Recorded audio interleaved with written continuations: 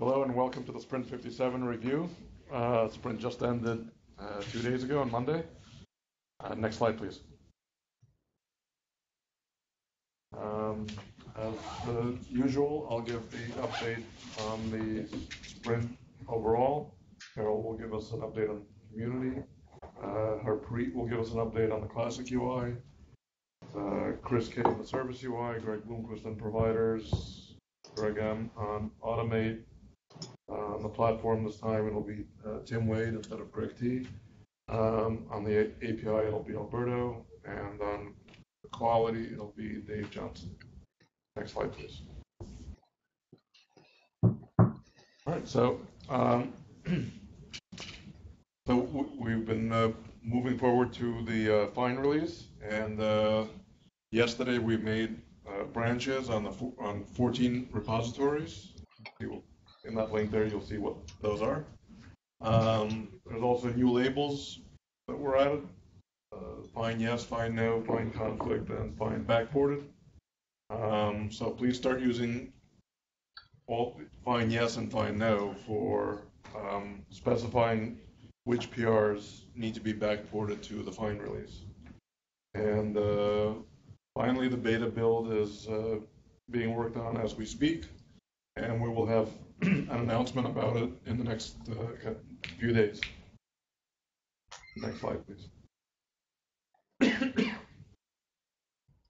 Okay, um, so in the main repository, we had 180 pull requests merged. 61 were enhancements and 58 were bugs, and the rest were sprinkled around.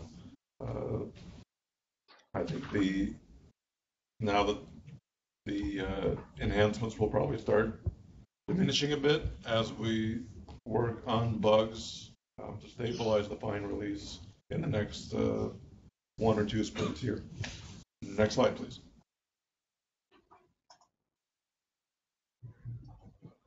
Okay, by uh, category, um, 69 PRs were in the providers area, um, 28 were in the core, 17 in the UI, 24 were in the API, 13 in services, nine in reporting, and seven in Automate. So good mix. Next slide, please. Um, this is the chart that we've been putting together with Marianne, um, or actually that Marianne's been putting together. Um, so uh, as you see, we keep growing the number of PRs that are merged. Uh, every sprint, we're having more and more. And now on the two-week sprints, I think we're well ahead of wherever we were with three-week sprints in 2016. Um, we're also growing the number of repositories. You see in Sprint 52, we were at 103 repositories, and now we're at 108 repositories. So we continuously grow that. And I think as we add more repositories and things uh, start standing out on their own, I think that number will grow even more. Next slide, please. Um, so the total across all of the repositories uh, in the ManageIQ organization is that we had 565 pull requests merged. As you can see there, the 180, that was the one that I spoke about initially. The classic UI had 117. Um, the integration tests run by the quality team uh, had 93. The service UI had 35. The Amazon provider had 33. Documentation had 30. Uh, GEMS pending 11. Linux admin 9. Those two are kind of helper repositories um, used by the product. Uh, the VMware provider had 9. And content, which is Automate content at this point, had 8. There were also two new repositories created: uh, Amazon SSA support, as well as the ManageIQ UI scaffold, um, which we can discuss at a later sprint. Uh, next slide, please. All right, so we have more uh, repository extractions planned sometime in the month of April, hopefully in the next sprint, if not in the next two sprints. Um, so those six that are there are the SQL schema. Um, that'll be extracted to a new repository. Um, those four providers that, that we have there, those should be extracted to new providers as well, to new repositories, as well as the automate engine. There's been work underway, and hopefully we can get that across the finish line uh, in the coming sprints here. Next slide, please. All right, and over to Carol on the community. Hi, um, thanks, Oleg. So for um, the community side, uh, we have the, our regular last week in Manage IQ posts. And uh, to be honest, they're getting more and more interesting. Uh, you can read about uh, certain moves by uh, certain uh, Hungarian, American, and Czech um, people in, in, in the Manage IQ team, and uh, which is written by Libor and Dr. Drew. Uh, how do you pronounce his last name? Dr. Drew is uh, has um, showed us some interesting um, solution, and I think after reading that post, I think I need a big dose of PRs as well. So for upcoming events, um, we have quite a few things going on. Actually, right now there's the uh, KubeCon or Cloud Native Con in Berlin, and Sergio is there representing us for Manage IQ. For uh, it's happening today and tomorrow. Next week uh, we have two events. One in Warsaw. Uh, it's a event uh, they call it a bar camp. It's there's going to be two topics. One on Manage IQ, which I will present, and another on Ansible. And um, in Brno on April 5th, they're having we're having an open house, red open house, and um, we have a nice team presentation between uh, the Manage IQ team and the RDO uh, team. We're going to uh, demo uh, integration of uh, OpenStack and Manage IQ. Um, so looking forward to that. And then later on in the month, we have a meetup in Amsterdam as I think three talks already confirmed, quite interesting about uh, IQ uh, automation and using uh, IQ with Ansible and Foreman, I think. And then at FOSS North, which is an event, uh, a FOSS event uh, in the Nordics, Northern Europe, in Sweden this time. So anybody who is in this area, please uh, feel free to join. And since we have you know a lot of events happening, and uh, it's great to see some recaps. So uh, we have uh, a blog post written by Satyajit um, uh, to uh, re- recapping the um, event from PyCon in Pune last month, and then uh, there's a video from last week, actually two weeks ago, when I was in FOSS Asia if you're interested, you, uh, please uh, check them out. Um, that's all from me. And um, next slide, please. Thanks. Hi all. Um, so from the UI side, we had a total 113 UI PRs merged during the sprint. As you can see, I have some numbers for each of the categories that were merged we have had a very busy sprint with this sprint being a last sprint to get features in for the release. So we have had a lot of Ansible and non-Ansible enhancements that were merged during the sprint. Um, I have some of the main ones listed on the slides here with some screenshots and a couple of the demos to share. So for the bug fixes, we had um, some fixes in the API error handling area. So the JS code was fixed to handle errors that were returned from API calls to make sure um, API errors were displayed correctly on the screen. And um, on the com compare screens, um, the toolbar buttons and uh, adding and removing of the sections on the compare screens and non-explorer style screens was uh, broken by some of the refactoring efforts that we are doing. So those were fixed. And um, also RBAC checks were added around the selected records for uh, performing tax, uh, tasks on them. So if the user does not have access to the selected records, we display a message on the screen. And um, also tagging was added to the container volume screen. Next, next slide, please.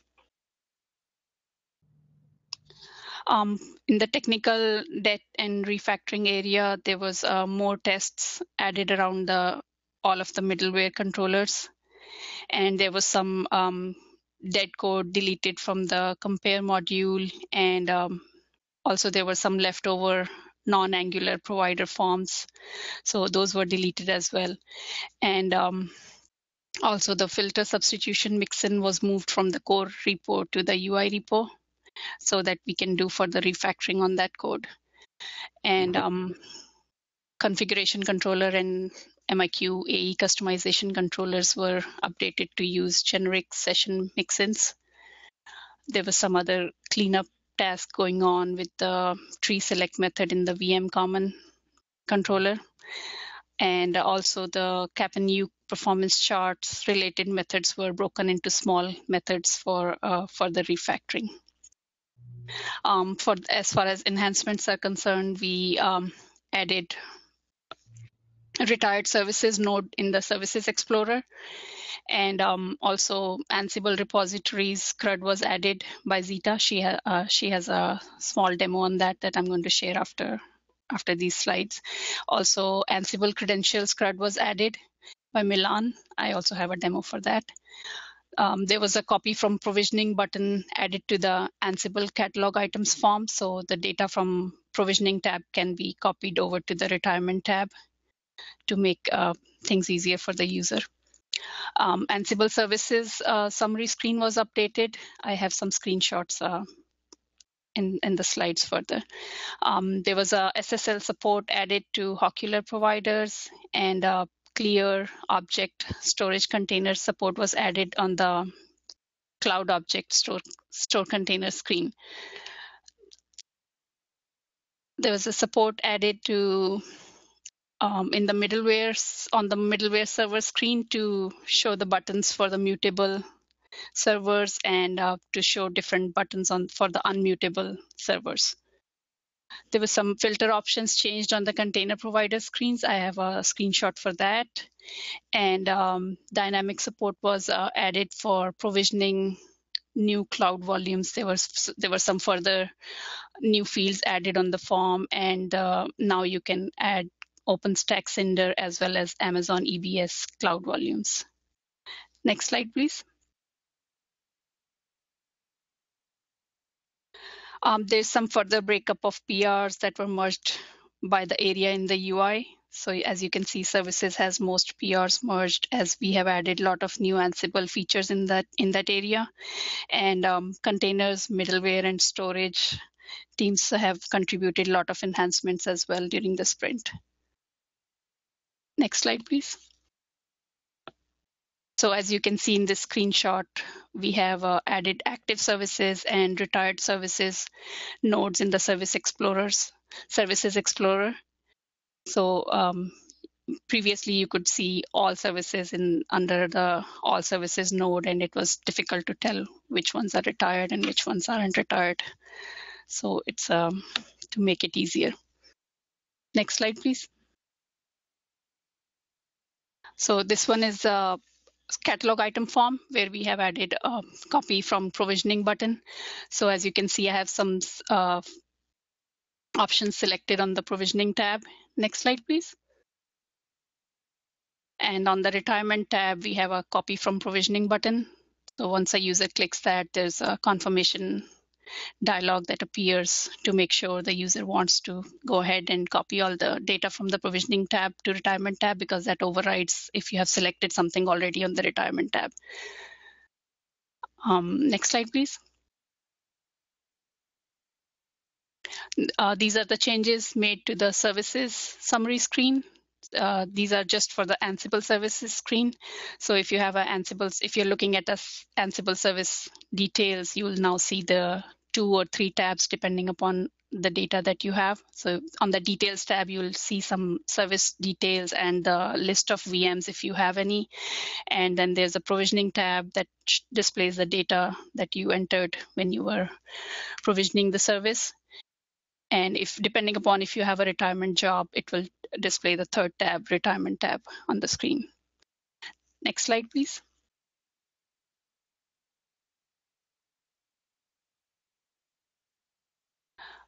That's a middleware provider screen. So as you can see, there's a SSL support added under the security protocol.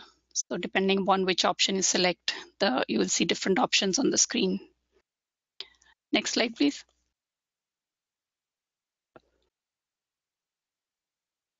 Here you can see the clear object storage container support that was added on the cloud object store con containers screen. You can uh, this uh, you can see the clear button from three different places. One is from the list view and the detail screen of the cloud object store container, and also when you're looking at the list of uh, cloud object store container through the storage manager relationships. Next slide, please. So support to only allow operations on mutable middleware servers was added. As you can see, there's a different buttons for mutable versus un, in, immutable um, middleware server. So you can only see the CAPNU data or you can apply tags on immutable servers, but you can perform other tasks for the mutable middleware servers. Next slide, please. So here's a screenshot with some new filters on the container providers ad hoc metrics screen.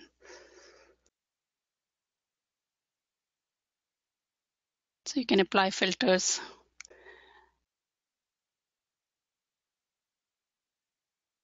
And view the results. Next slide, please. So that's a um, new cloud volume screen where you can now add OpenStack Cinder and as well as Amazon EBS cloud volumes. And there was um, previously, I think there was just two or three fields on that form, but there's new fields added to that form now. Next slide, please. Okay, so um, I'll share my screen and run the demos.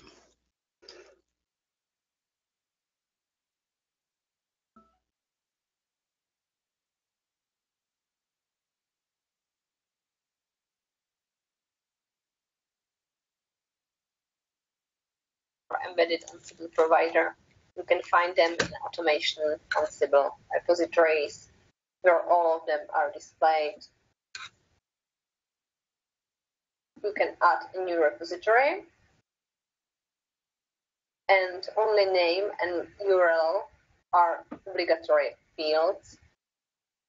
URL also enforces HTTP or HTTPS protocol there are no other restrictions. Add a repository has been initialized. You can see in success message.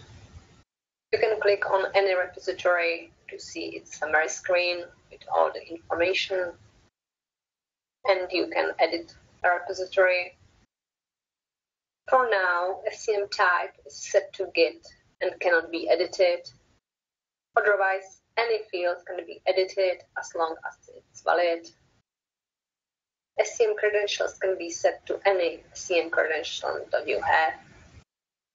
You can change SCM update options as well. Edit of repository was successfully initialized. Now we can select any number of repositories that we no longer want and delete them you will see if the delete was successful or not, as you may not have owned the rights to delete a repository or another error can occur.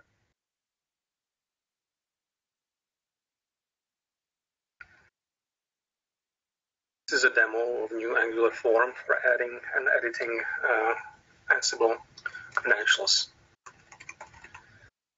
So uh, after logging in, if you navigate to Ansible credentials, uh, you will be presented with a list of uh, avail available credentials.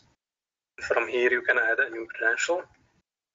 Uh, the new Angular form for adding and editing is implemented, implemented as an Angular component, and uh, all the form fields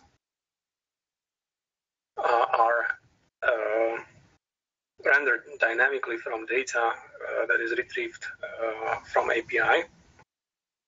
We support several credential types, Amazon, machine, SCM, and VMware. I'll show you addition of a machine credential.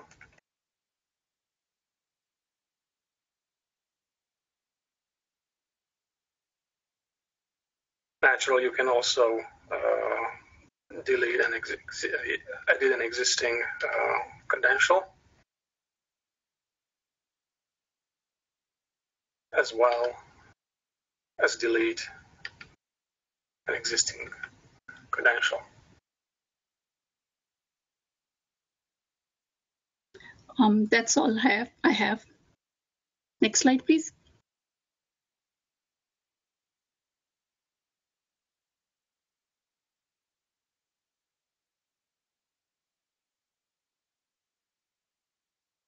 Hey, thanks, Harpreet. Um, so for the service UI, we have our typical overall um, sprint status. We finished about 27, 28 stories for the sprint, um, with a majority of them tested and accepted. Uh, we had a little, uh, we got a little too ambitious this sprint, and we had a couple that were left over. Uh, next slide. So some kind of behind the scenes features we've added. We've added um, RBAC to all the tabs except for the service details. We've temporarily removed the templates and dialog editor tabs. We've added the ability to restore snapshots to VMs. Um, we've added the behind the scenes framework for the reports uh, viewer. Um, we expect those to be done by the next sprint. Next slide, please. Um, one of the bigger things we've added this particular sprint is the ability to see retired resources in the service details page. As you can see in the screenshot, um, it now clearly indicates that this is retired. You can still see information about it, but you won't be able to uh, make any actions on it. Next slide, please. And of course, um, you know, primarily we were focused on uh, bug fixes. So we've got about uh, 10 major bug fixes in there. Um, and I'm not going to go through all those, but you can see there's um, some pretty big ones in there. And I believe that's it for me. Next slide, please.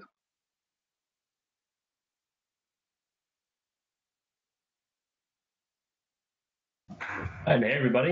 Um, I'm going to talk about some updates from providers. Um, we have some updates from Hawkular, uh, Amazon and Ansible, OpenStack and RHEV, and some core updates.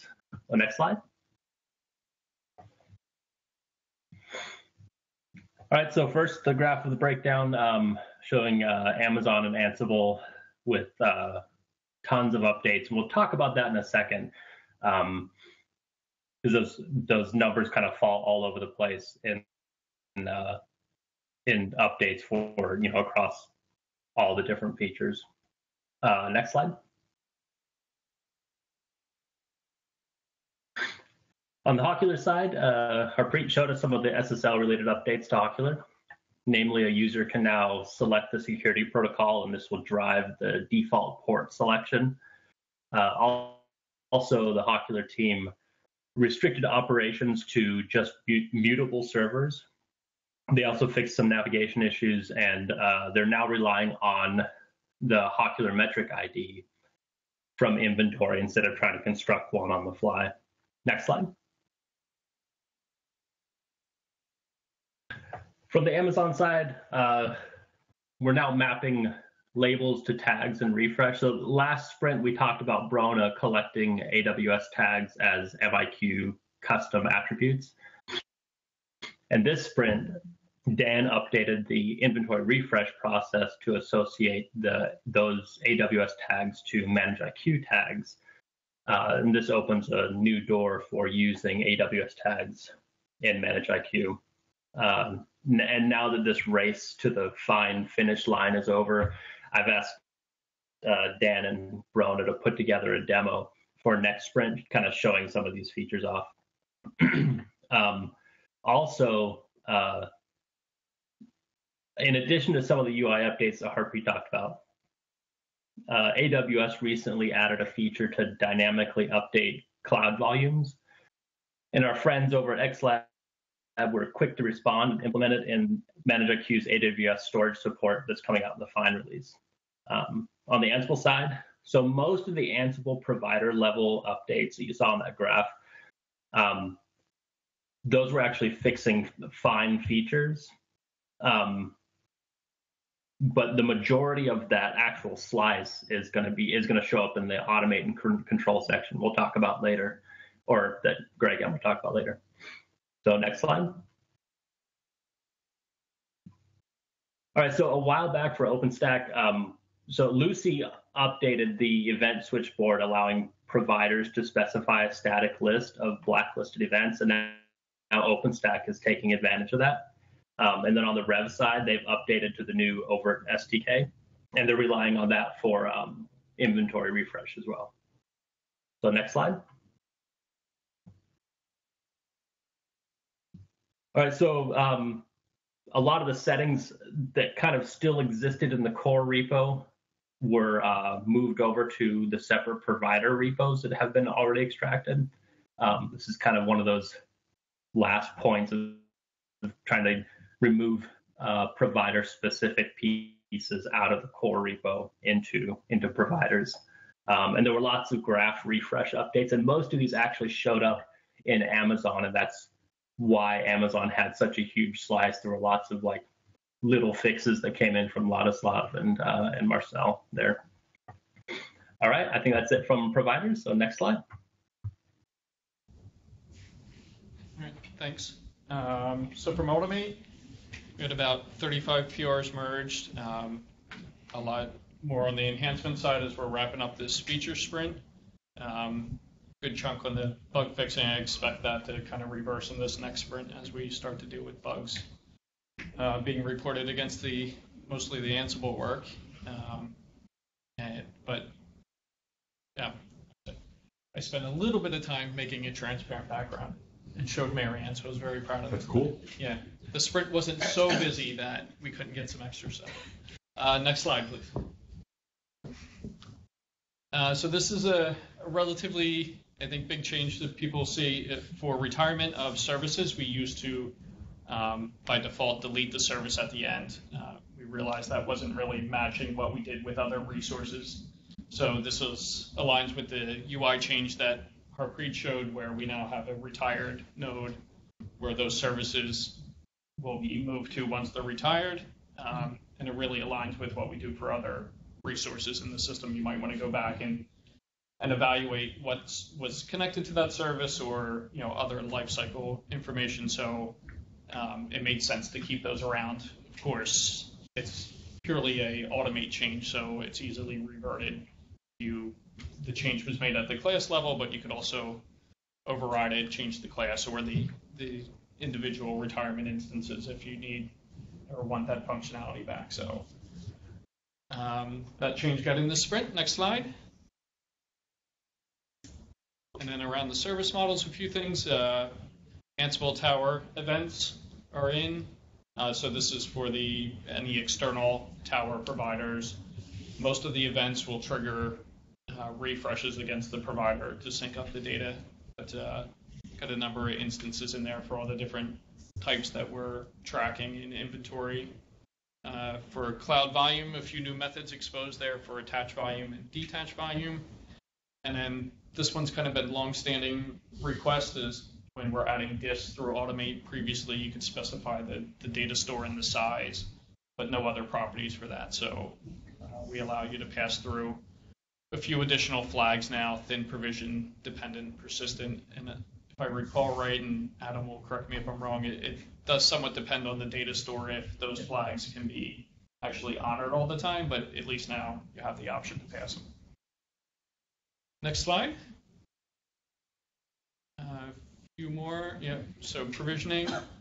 We got a new customization template in for oVirt, which is a nice example for showing passing the host name, root, password, IP, and stuff through. So that's a nice one. And then a fix I wanted to highlight um, around when we did the switchboard, events became asynchronous, and there were places where we were checking prevent policies. One of them being when you request a VM scan. So um, very nicely, we would send the event into policy and then immediately continue on and start scanning. So now we've corrected that. So we're obviously uh, now honoring the prevent action in policy and canceling the scan. Next slide. And then, so most of the work for this sprint was around the Ansible integration. I don't want to go through this whole list, but um, we got events support on that side as well.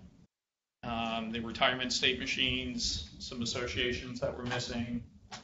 Um, did open up the, when you ask for standard out, you can get it back in different formats. So if you're parsing it naturally in, say, automation code, you might want it in JSON. Um, and then we'll show this a little bit more in the next few slides in the demo. But when we launch the playbook now, uh, we have a ManageIQ kind of key that we're putting data into for each playbook, so that you'll know the the action that it's running for, you know, provision retirement. If it comes from control, you'll know the object that the event was raised for, as well as the event that it was raised or that's raising it. Um, and then also information API URL and token so you can talk back to the appliance and, and make changes in it, which is all you'll see in the demo that we have. And then I think over to Madhu to talk to a few more, talk about a few more of the enhancements. So uh, one of the key challenges we had was uh, passing information between uh, ManageIQ and Ansible. And uh, some of the objects that we have, like uh, providers, is actually called EXT management system inside of our database. So we didn't want to teach Ansible to know what the mappings are. So we had to come up with this, a way of sending both the class and the ID information as a single value into Ansible. So that's where we started coming up with something called slugs, which are partial hrefs. And what they do is they actually combine the class name and the ID together. So whenever you need any piece of information from the REST API, you can actually pass in the, you know, the API and append the slug onto it, and you can actually just access that resource. So these uh, slugs can now be uh, used into extra vars that we are sending into Ansible. And in the future, we also envision that if somebody is trying to use dynamic dialogues and uh, the data is actually destined to be going into an Ansible playbook, you could actually use a slug instead of using the ID. So um, in order to support that, we had to actually add a href slug method into the service model. So from an automate method, when you're trying to build a list, you can actually access the href slug. So I think you can see an example at the bottom. And the small picture there is courtesy of Greg. I think like he went looking for a slug yesterday. That's what he found. Next slide, please. So these are some of the canned extra vars that we are actually passing into Ansible. So you need all of this information to actually get back to the REST API to access our objects. So some of the, I think this is the entire list, I think for now. We have the API URL, so which tells you, you know, which is the port number and which is the web server that's actually listening to requests. Then there is also ephemeral token authentication that you can use instead of using the user ID and password. Then there is the service. Since in Ansible now, for everything from ManageIQ is service driven, everything actually happens as a service. So we are sending that service information over, so you can fetch that object if you need. There's also the user that actually started that, and the key here is if you want to use any kind of ownership RBAC, you can use the user object. There is also action. The action actually tells you if it's provision, reconfigure, or retirement. And uh, this is typically needed if you actually have a single playbook that actually is capable of doing all three things, provision, reconfigure, and retirement, and you actually want to you know, like uh, an off certain task saying, you know, this is this applies only to provision, this applies only to reconfigure and stuff like the last two are actually related to control, which actually tells you which is the uh, host or cluster that generated the event, and also what is the name of the event. Next slide, please. No, actually, you know what? I have a small demo. Next slide, right? Next slide. Yeah, okay. I'm going to share my screen and show you a small uh, uh,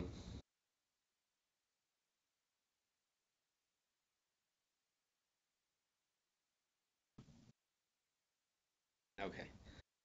So this is actually uh, a small demo that actually integrates all the pieces that I showed in the couple of slides and create a, a new service item from Ansible Playbook.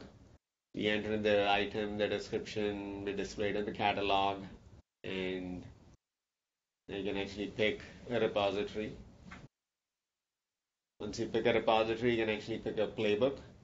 So this playbook actually is like a cooked up, cooked up use case where we're trying to show how you can actually uh, add a VM to a service based on a VM getting tagged or untagged.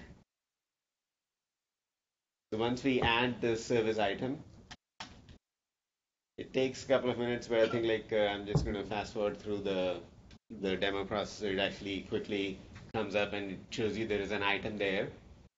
And now you go through the control, and I already have a policy defined in control uh, the VM control policy, which actually allows you to, um, you know, like uh, monitor the tagging and untagging of VMs and set an action for it. So I have a VM control policy, and it actually has uh, an action there called run playbook. When you edit that action, you can actually pick the item that we just created, the playbook once you select this, now this action is ready. So now at this point, we can actually go through the, the instances in the compute. Close that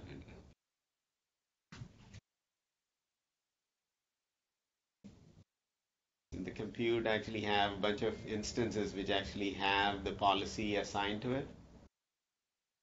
And if I go and untag or tag a particular VM, it's going to kick off uh, a, a control action. So me setting the setting a tag for the VM. And at this point, we actually have created a queue entry waiting for one of the workers to pick it up. And once that's picked up, you'll actually see a small notification pop up that says that uh, the provisioning uh, has started, and I think it goes through the whole process of provisioning a service. And, uh, yeah, okay, so the request got approved, and it takes a while, but I think I'm just fast forwarding through the demo here. I think it says that the VM has been provisioned, uh, the service has been provisioned. You look at the events, and you can see the there was the starting and ending of the the service provisioning. And if you go into services, and if you click on my services, this is what Harpreet was showing you earlier, is now you can actually see that the VM has been linked to the service. And there is also the provisioning standard output that comes right from Ansible. So this playbook actually has, uh, all it's doing is trying to add a particular VM to a service. And I think like, uh, I think Alberto is going to talk more about the API changes that were made for, from the REST side for this and this is the playbook that is actually used to add the VM to the service. Thanks, Manu. I think that's it. It's over to uh, Tim. Yep.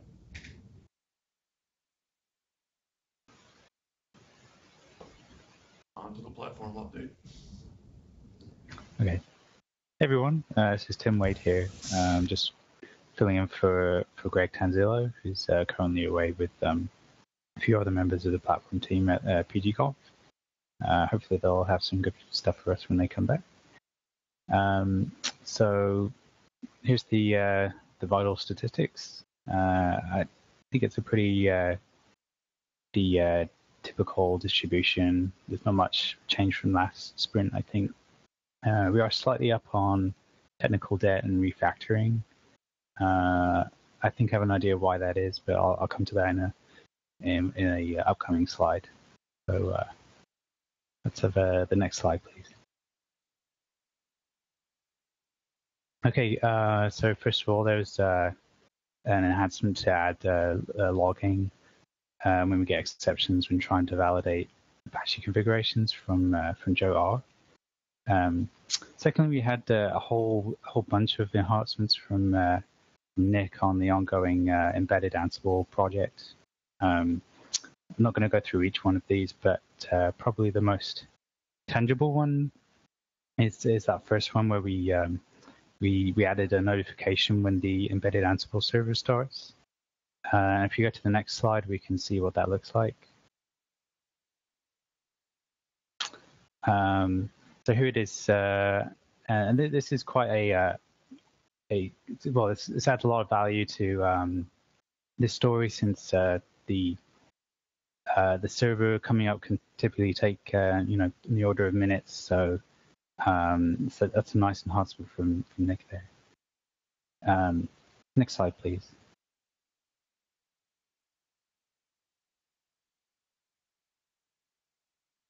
Uh, okay, on to IPv6. Um, uh, in the, uh, in the last uh, few weeks, uh, Shimon has been doing a, a, lot of work on this uh, IPv6 project, and a lot of the, the fruits of that research has, has dropped um, in this sprint. first of all, um, a couple of additions to the appliance console, um, adding the IP, IPv6 uh, details to the summary screen and, and also adding a dialog for uh, for making those settings, uh, and also a number of uh, related enha- enhancements to the Linux admin gem uh, in support of IPv6. And if we go to the next slide, we can see uh, a screenshot of the I think the dialog screen for for making those settings. so you can see the the first part here, and in the next slide, uh, you'll see the confirmation screen. And as you can see, uh, we have a IPv6 address there. All looking good. So on to the next slide.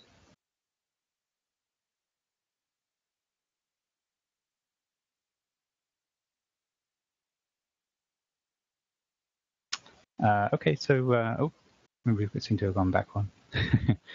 uh, okay, so uh, a number of bug fixes. Um, I'm not going to talk about each one, but uh, the uh, the the first one there I think was fixed by Joe R, um, where we removed rows from the the, the table that um, contained a class that was removed in Rails 5, and, and this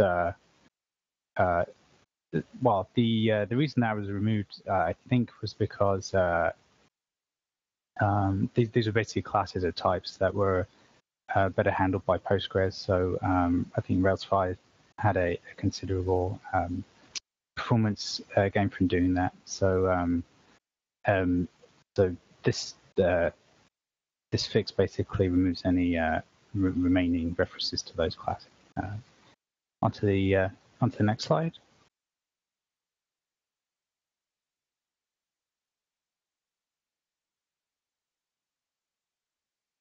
So uh, I mentioned when we were looking at the uh, the, the stats that uh, we had an increase in uh, technical debt refactoring.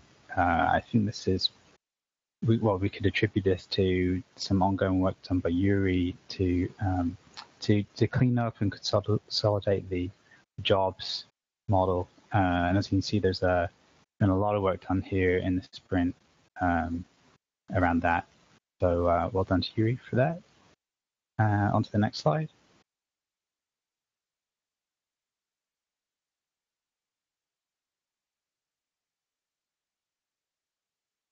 Okay, uh, I think that's it from me. Uh, on to uh, Alberto for, let's say, the uh, the remaining portion of the presentation alberta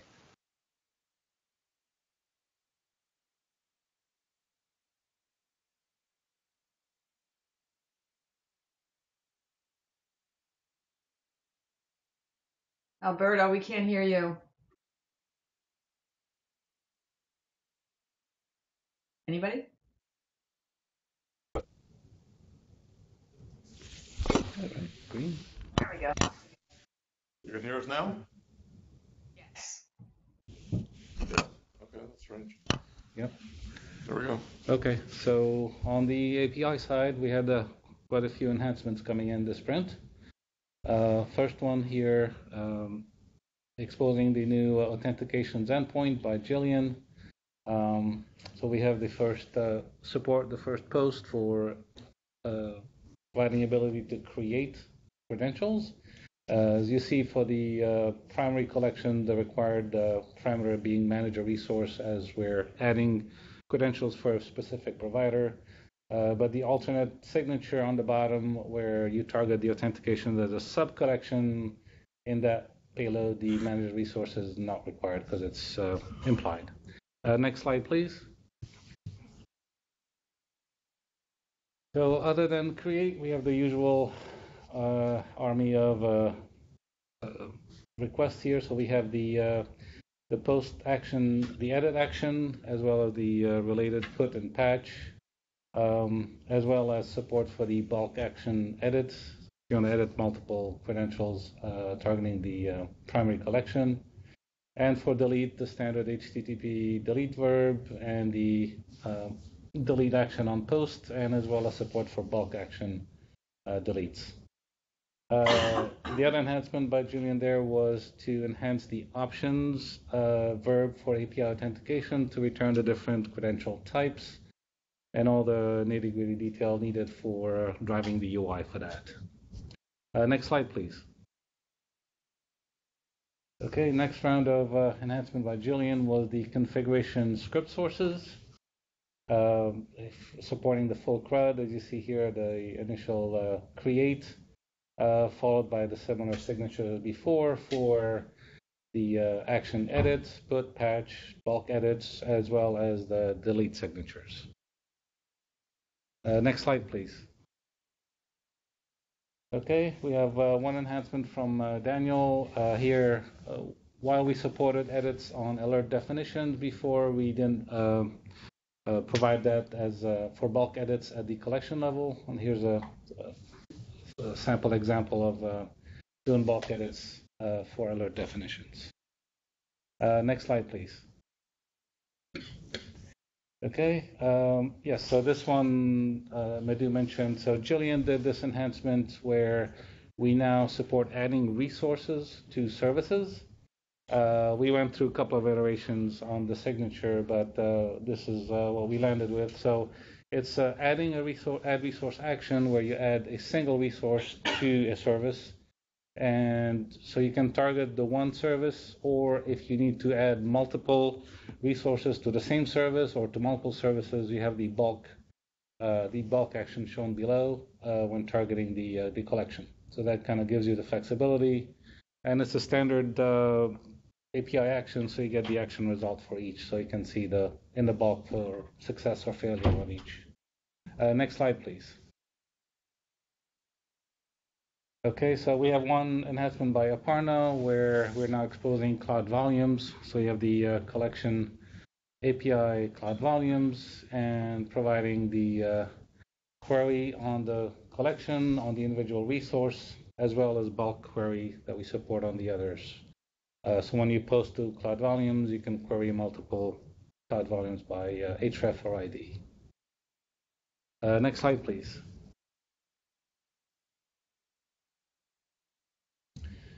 Okay, so another enhancement by Jillian. Uh, now we expose orchestration stacks uh, for services as a sub-collection.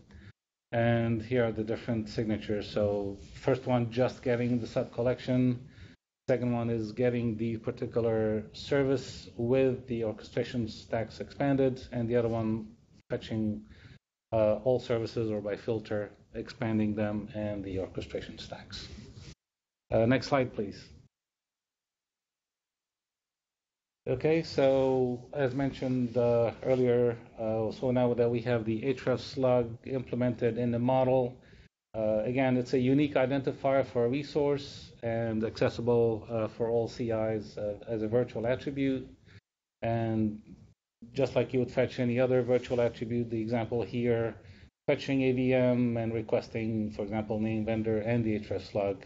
And as you can see, the href slug here in bold is, is the unique identifier. As you can see, that subset of the href is that signature. Next slide, please. Okay, so for fetching the, right, so we now expose the standard out attribute for orchestration stacks. Um, so that again is accessible via a virtual attribute. As you see in the first signature, attribute equal std out. Uh, but we also support a, a, uh, optional parameter which is called format attributes that kind of gives us the flexibility to request um, additional formats per attribute. So we, we just implemented this for std out. So here uh, you can come with that request and say format attributes std out equal text or JSON or whatever Ansible supports. So kind of gives uh, gives us the flexibility. Uh, next slide, please. Yeah, and uh, yeah, one last enhancement for providers. Earlier, when uh, you did a refresh on a provider from the API side, it was pretty much a fire and forget. Uh, kind of makes it hard to track, you know, when is this thing done. So now we return the uh, the task reference, the href and the ID with the uh, with the action result. Um, the one caveat here for you know, when targeting provider with multiple managers, we, you know, we return the first manager's uh, refresh, there's an RFE to support a, sig- a different signature for multiple uh, that's listed here uh, for the future. And I believe that's it for the API. Next slide, please.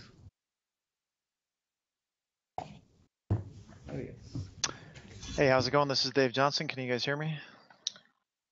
Yep. All right, cool. So uh, the team has been the team has been staying pretty busy. Um, uh, you know, going through bug verification, a lot of fixes coming out of development, which are great to see. Um, in terms of the the Ansible feature set, uh, uh, 80% has been implemented from our point of view. Um, the other 20% is for the most part descoped. We are trying to confirm that. Um, but uh, overall, you know, things are in good shape. Uh, there's still a few unknowns that we're we're, we're going through and um, figuring out if if some of these new uh, features that were delivered uh, uh, in yesterday's build um, are good to go or not. But uh, overall, things are are are, are trending up. It's, it's it's looking it's looking good. Um, the incoming issue rate um, for the release is is somewhat down. Um, I uh, I'm a little bit hesitant to to declare victory on that. I want to see how the, the next few weeks go. Uh, I, I, guess specifically this next sprint. Um, uh, next slide. Okay, so uh, a lot of automation uh, fixes going in uh, as the application has been under you know development and, and just you know some of the changes have been breaking some of our tests and we're going through and, and fixing those. Uh, in addition, a lot of enhancements and refactoring going on. Next slide. Uh, uh, just a few major changes that we we implemented were um, uh, refactoring some of the test parallel, uh, parallelization code um, to prevent uh, uh, to, to be better with deadlocks and, and use less CPU. Um, we run into into a few cases where occasionally the test runs would get hung for um, you know whatever reason. So we put it, some defensive code in place, hoping uh, to get that cleaned up. Uh, a couple widgetastic uh, fixes and conversions have went in. Uh, that uh, that overall refactoring effort is is in good shape. It's it continues to kind of drag on a little bit, but you know we're making progress as you know there's so many different things coming out of development that we need to to keep an eye on. So um, uh, we're definitely staying busy, and then uh, like I mentioned earlier, a lot of a lot of test fixes going in um, to fix the the existing automation to continue to work with the changes that have been going into the application. That's all I got. Next slide. All right. Um, so that was Sprint 57 review. Sprint uh, 58 review will be back in two weeks, and that's on April 12th. Um, any questions or comments before we close this down? Chat room. Nope. Nothing to chat. Okay. Well, thank you very much, everyone, for all the hard work. Uh, really, uh, a, s- a sprint with uh, a lot of uh, new features delivered. Um, so it's really kind of cool to see all that. And uh, looking forward to the next sprint. Thanks, everyone.